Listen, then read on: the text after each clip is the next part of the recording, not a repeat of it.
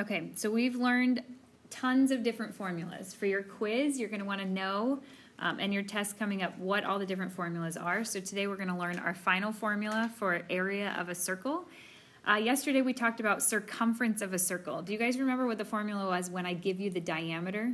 A equals. Not A, it's Oh. circumference. C equals pi times D. C equals pi times D. Now what if I gave you the radius? What would that be? C equals times times R.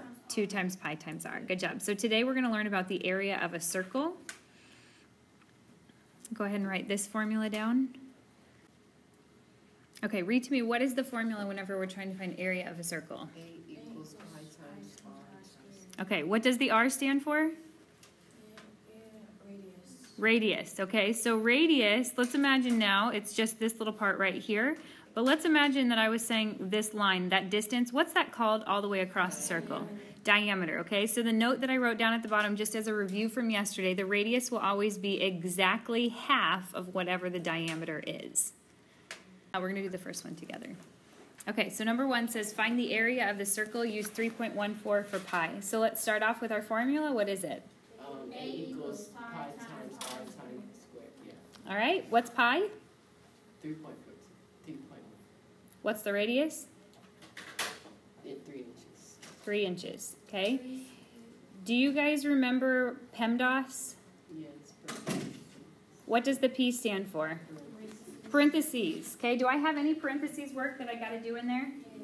No. No, there's nothing inside the parentheses I have to do. Is there any exponents? Yes. Yes, E stands for exponent. So before I do anything else, I've got to do my exponents. What is 3 squared? No. 9. So I know it's going to be A equals 3.14 times 9.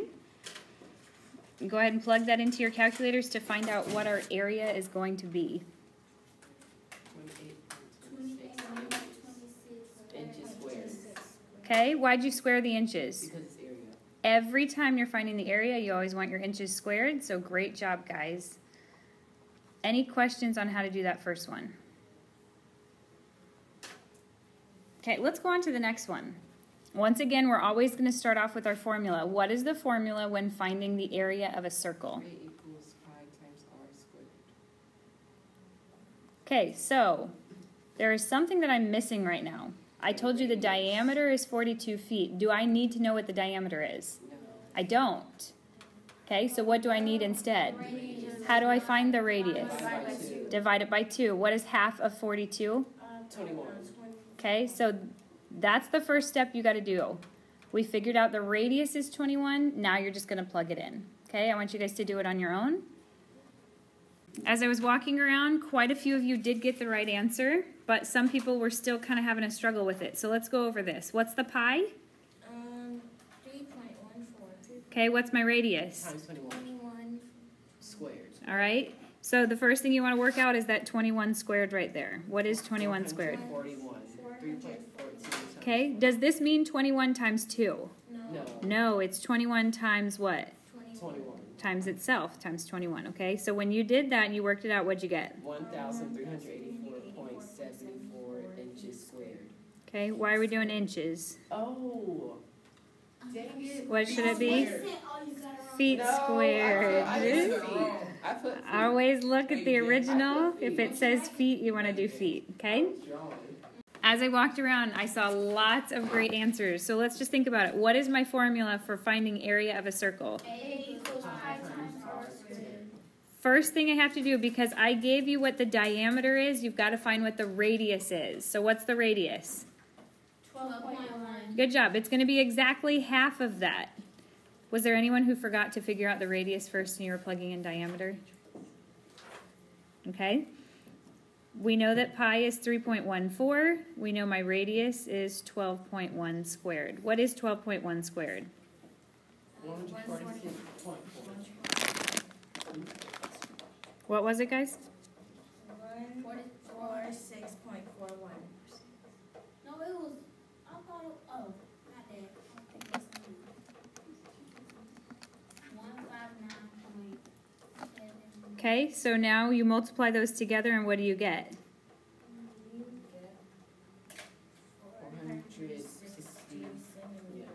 Okay, listen. I asked you to round it to the nearest whole number. The nearest whole number simply means you're going to have nothing after the decimal point. So all of this is going to go away. Should it stay at 459? No, why not? It's rounding up.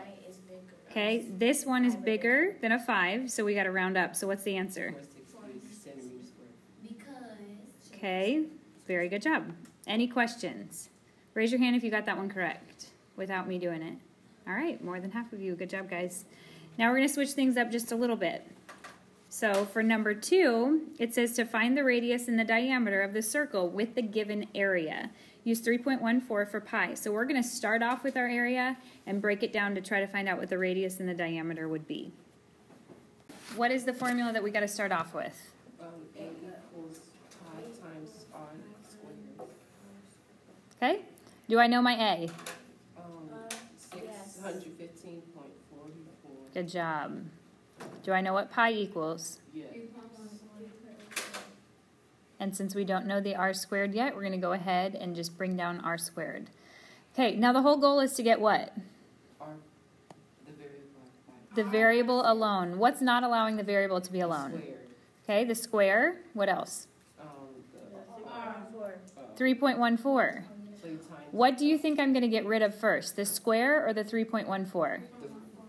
Okay, every single time you will leave the square there until the very end. So how can I get rid of that 3.14? by squaring it, by by itself. I divide it by itself. Okay, just like normal, the things that we've been doing. We're getting rid of times 3.14. The opposite of multiplying by 3.14 is dividing it.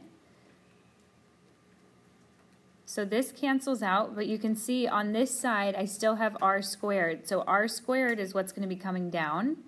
And what does r squared equal? 196. 196. Am I finished now? No, I don't know what I don't want to know what r squared is. I want to know what r is. So how do I get rid of that square? The opposite of a square is to take the square root of something. So if I square root one side, I've got to square root the other. Now remember, a square root and a square, these two will just cancel out and I'm left with plain old r equals, what's the square root of 196? 14 yards. Okay, so I did hear positive and negative uh, 14 yards. Can I have a negative distance? No. So we're not going to say that it's a negative. That's just when we're dealing with integers and integers alone. But since it's a distance, it's just going to be positive 14 yards. Now, in my instructions, if you look back, it says to find the radius, which we did, and the what? Diameter. What's a simple and pretty quick way that we can find the diameter? You multiply it by 2, okay? Because we know if 14 yards is the radius, the diameter will always be double. So what's my diameter? 28 yards. 28 yards.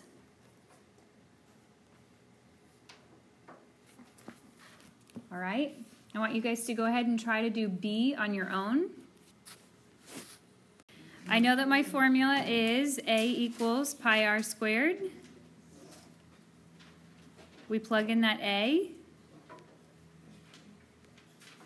Put in pi and r squared. What do I get rid of first? Okay, so we divide by 3.14. Always remember keep your square until the end. When I do that, what do I get? R squared equals 81. Okay, how do I get what just r is? Do the square root. So what is r? Nine. what? Okay, then what's my diameter? How'd you find that? You just double it, okay? Raise your hand if you got the right answer. Does anybody have a question for me? Something that does not make sense? Okay, here we go. Last and final example of the day. Find the area of the circle with the given circumference. Use 3.14 for pi. So as you can see here, it's given us the what? The circumference. The circumference, okay? Do you guys remember what circumference means? Yes. What is it? The area around the circle. The area around a circle. So this is telling us right here, this is 18.84 meters around, the measuring the distance around. Do I want to know what circumference is? No. No, what's it asking us to find? Area. The area. That means it's asking me to know how many meters this space is, or meters squared. So I want you guys to talk amongst yourselves to see if there's any way you can figure out how to get from the circumference to the area.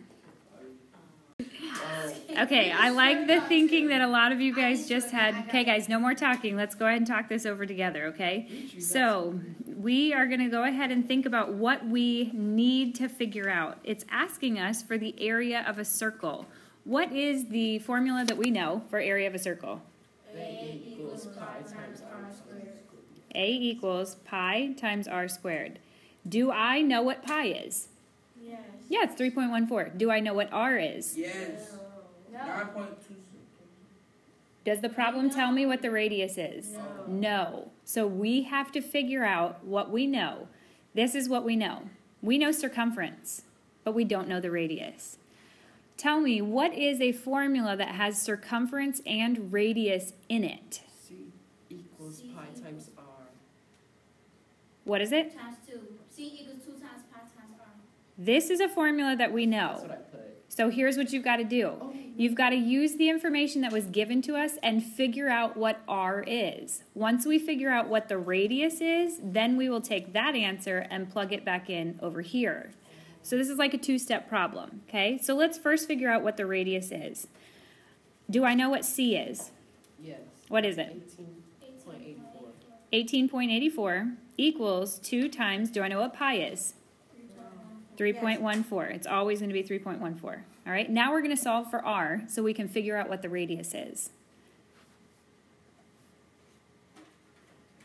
What's 2 times 3.14?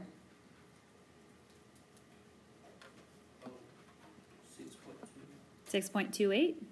Your goal is to get r by itself, so how do I do that? Eight. Good job. Divide by 6.28 on both sides. And this tells you what the radius is. What is our radius? Three. 3 what? What is it? Meters. 3 meters. Eighteen. Now, is that my final answer? No. No, I have to take this radius that we just figured out and plug it into that formula to find what the area of a circle is. Does that make sense? Yeah. So you've got to use what they gave us and figure out what we need to know for the area of a circle. So let's start plugging in. A equals what's pi? Three point one four. And what's my radius? Three. Plug that into your calculators. Stand beside your chair once you know the answer. All right, according to PEMDAS, what do I have to do first? Exponent. The exponent, okay? So what's 3 squared? Um, nine. 9. When you multiply this together, what do you get? Twenty-eight. Twenty-six meters. Twenty. Okay, did I ask you to specifically round it anyway? No. No. So you're going to give me the answer exactly as it came out. Okay? 28.26 meters squared is the correct answer. Tonight on your homework, there's going to be one problem just like that. So you're going to have to solve for R, and then you'll figure out what the area is. Okay? Tonight's homework, go ahead and write this down for me, is just six problems. So there's not too much. So I do expect everyone to be able to do it tonight, turn it in tomorrow, so we can earn another letter, um, and hopefully you guys can earn a homework pass. Okay? Good job today.